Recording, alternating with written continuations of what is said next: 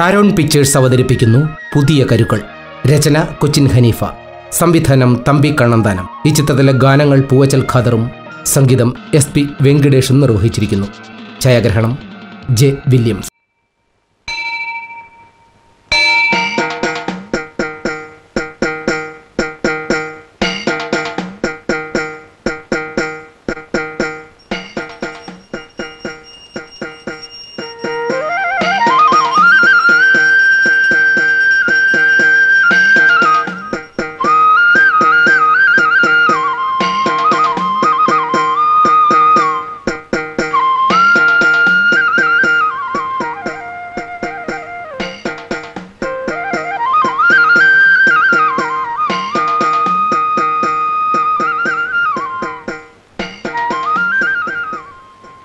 നടത്തണം. ആയിക്കോട്ടെ. ആർക്കാ? ഭർത്താവിന്റെ പേര് എന്താ നക്ഷത്രം? പുരോരുത്താതി ഭർത്താവിന്റെ പേര് ഉദയോർമ്മയെന്നല്ലേ? അതെ.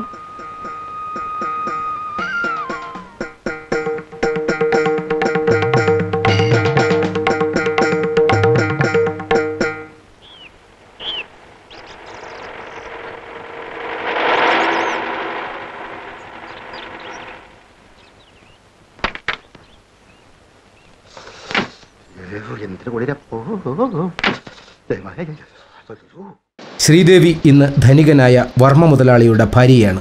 പക്ഷേ സംഭവബഹുലവും പ്രണയസുരഭുലവുമായ ഒരു ഭൂതകാലം അവൾക്കുണ്ടായിരുന്നു. ശ്രീദേവിയുടെ ബാല്യകാല സുഹൃത്തും കാമുകനുമായ വിനു ഒരു ദിവസം അവളുടെ മുമ്പിൽ വന്നു. ശ്രീദേവിയുമായുള്ള പ്രണയത്തിന്റെ പേരിൽ പണ്ട് വിനുവിനൊരു കൊലപാതകം ചെയ്യേണ്ടി വന്നു.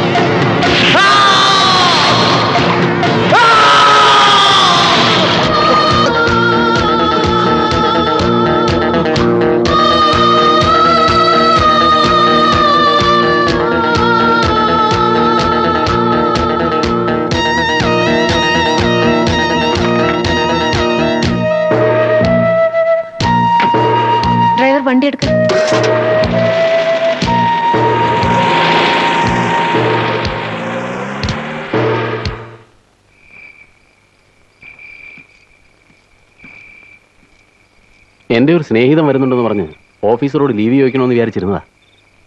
ഈ അടുത്ത് ആരോ ഒരു ആനയെ വെടിവെച്ചിട്ടു. അതുകൊണ്ട് സെക്യൂരിറ്റി വളരെ സ്ട്രിക്റ്റാ നീ പത്താം തീയതി വരുമെന്നല്ലേ എഴുതിയിരുന്നത്? അയാൾ അന്ന് അങ്ങനെ ജയിലിലായി. പക്ഷേ അവൾ കാത്തിരുന്നില്ല. ശ്രീദേവി വർമ്മയെ വിവാഹം ചെയ്തു. തന്റെ ഭാര്യയുടെ ഭാവപ്പകർച്ചകൾ വർമ്മ ശ്രദ്ധിക്കുന്നുണ്ടായിരുന്നു. വിനു ജയിലിലെത്തുമ്പോൾ ശ്രീദേവി അവന്റെ കുഞ്ഞിനെ ഗർഭിണിയായിരുന്നു. ശ്രീദേവി ശ്രീദേവി. എന്താ? എന്തു പറ്റി? ഒന്നുമില്ല. ഒന്നുമില്ല.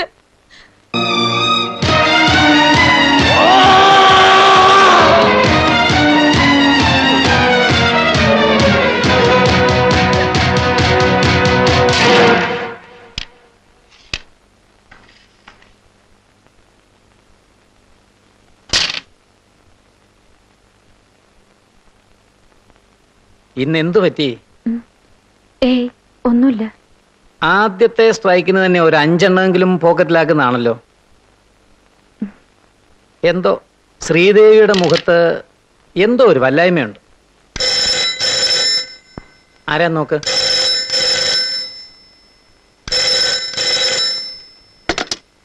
ഹലോ. ഞാൻ വിനോദാണ്. Wrong number.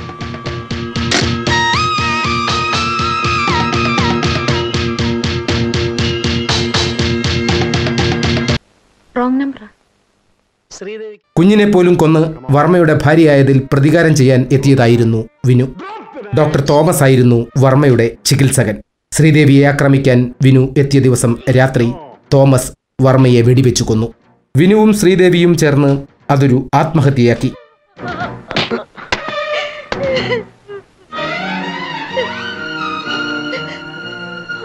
കറക്റ്റ് സമയത്താണ് താനും എത്തിയത്.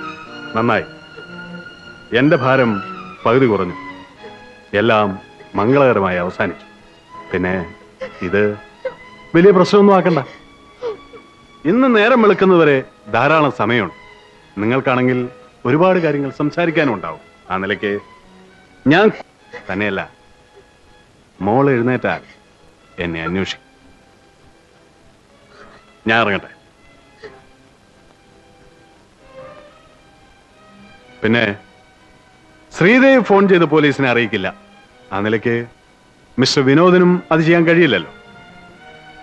നേരം വെളുക്കുമ്പോൾ ഇതൊരു ആത്മഹത്യ ഐ മീൻ സൂയിസൈഡ്. ഉദയവർമ്മ മുതലാളി ആത്മഹത്യ ചെയ്തിരിക്കുന്നു. ബാക്കി കാര്യങ്ങൾ ശ്രീദേവിയോട് ചോദിച്ചാൽ പറയും. ബൈ ബൈ ഇതെന്റെ കാർഡാണ് വാങ്ങിക്കൂ വല്ലപ്പോഴൊക്കെ വരണം.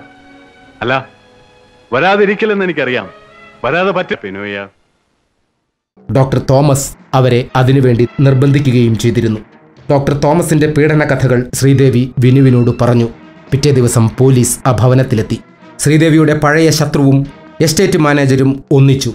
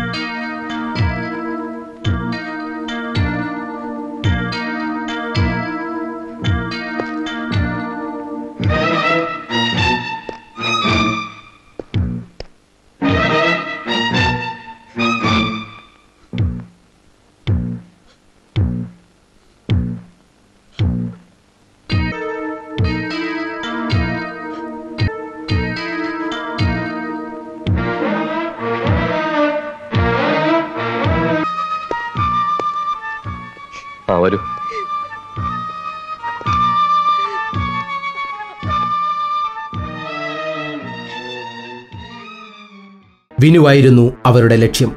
വിനു ശിക്ഷിക്കപ്പെടുമെന്ന് ഡോക്ടർ തോമസ് പറഞ്ഞു. തന്റെ കുഞ്ഞിന്റെ ഭാവിയായിരുന്നു ശ്രീദേവിക്ക് പ്രശ്നം. ഭയപ്പെടണ്ട.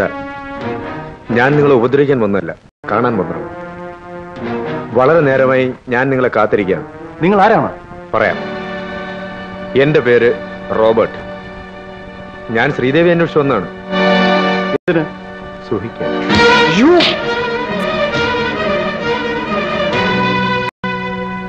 ഞാൻ ആരാണെന്ന് നിങ്ങൾക്ക്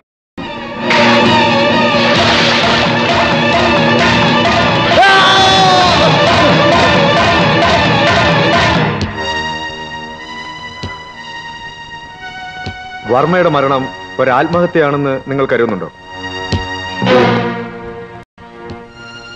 മനസ്സിലായില്ല. വിവാഹത്തിന് മുമ്പ് ശ്രീദേവി ഗർഭിണിയായിരുന്നു എന്നുള്ള വിവരം നിങ്ങൾക്കറിയാമോ? ഇല്ല. അവളുടെ കള്ളക്കാമുകൻ ആരായിരുന്നുവെന്ന് നിങ്ങൾക്കറിയാമോ? ഇല്ല. വിനോദ് എന്നെ വെട്ടിയതിനാണ് ജയിലിൽ പോയത്. അവൻ നേരെ വന്നത് ഇങ്ങോട്ടാണ്. ശ്രീദേവിയുടെ നിർദ്ദേശം അനുസരിച്ച്. ഒരാഴ്ചയായി അവൻ വന്നിട്ട്. അതിനുള്ളിൽ അവർ രണ്ടുപേരും ചേർന്നാണ് ഈ കൊലപാതകത്തിന്റെ മാസ്റ്റർ പ്ലാൻ തയ്യാറാക്കിയതും മുതലാളിയെ കൊന്നു എന്താ സാർ? ഒരു ചെറുപ്പക്കാരൻ കൊച്ചമ്മ അന്വേഷിച്ച് ബംഗ്ലാവിൽ വരാറുണ്ട്?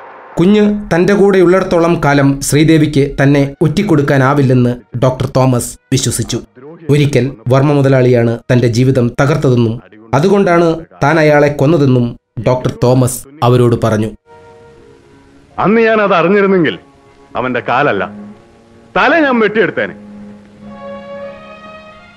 ഞാൻ അറിഞ്ഞില്ല ശ്രീദേവി. അറിഞ്ഞില്ല. ജീവച്ചവം പോലെ ഞാൻ ചട്ടുവെല്ലാം ജീവിച്ചു. ആ സമയത്താണ് ലീലാമ്മ സ്ഥലം മാറി എന്റെ ഹോസ്പിറ്റൽ വന്നത്. ലീലാമ്മയുടെ മകൾ രമ നേരിൽ കണ്ട വിവരം ലീലാമ്മ എന്നോട് രഹസ്യമായി പറഞ്ഞു. അപ്പോഴാണ് ശ്രീദേവിയുടെ മകൾ ലീലാമ്മയുടെ കയ്യിൽ ഉണ്ടെന്നും ഞാൻ അറിഞ്ഞത്.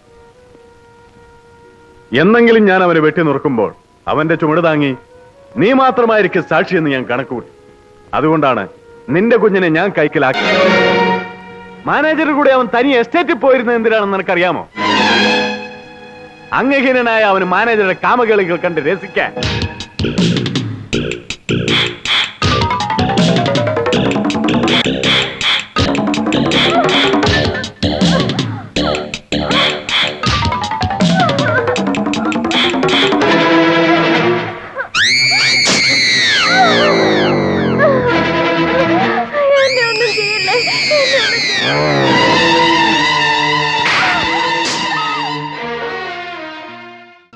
തന്റെ ആദ്യ ഭർത്താവിന്റെ ദുരന്ത കഥ ശ്രീദേവിയെ ഞെടുക്കി. പക്ഷേ ഡോക്ടർ തോമസിനെ നേരിടുവാൻ ശത്രുക്കൾ പതിയിരുന്നു.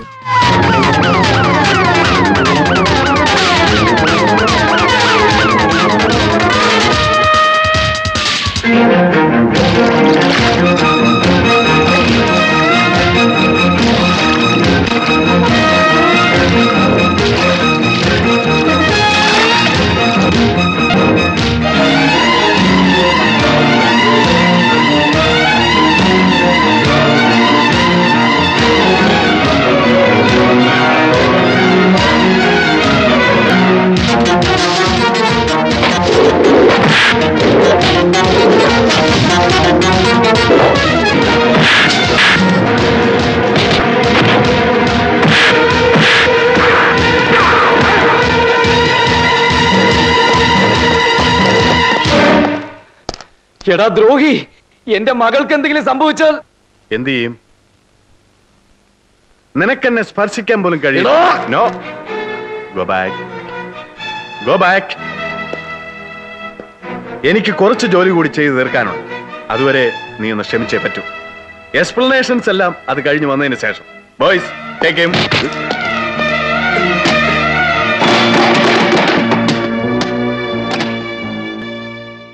തന്റെ മകളുടെ ഘാതകനായ മാനേജർ സതീഷിനെ ഡോക്ടർ തോമസ് നിഷ്കരുണം വെടിവെച്ചു. അയാൾ ജീവനു വേണ്ടി യാചിച്ചു.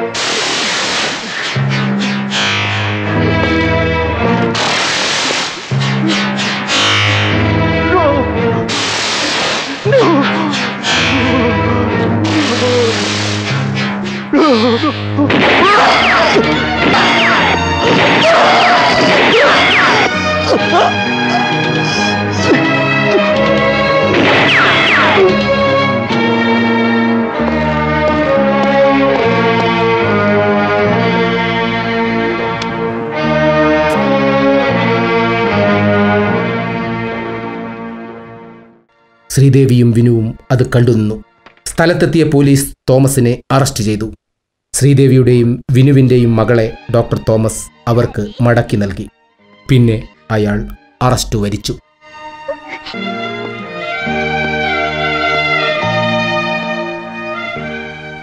മോളെ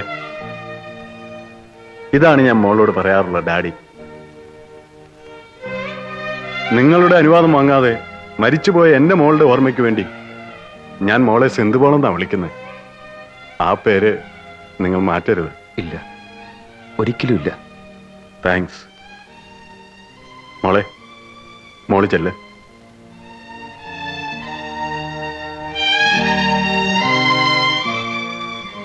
ഞാൻ നിങ്ങളെ വേദനിപ്പിച്ചു.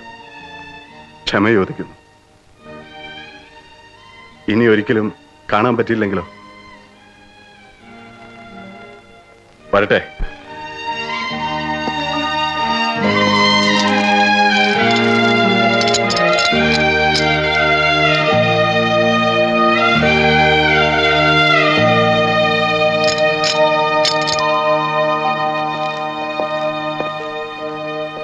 തമ്പി കണ്ണന്താനം ഒരുക്കിയ ജയറാം ചിത്രം കരുത്തുറ്റ ഒരു ആക്ഷൻ ത്രില്ലറാണ്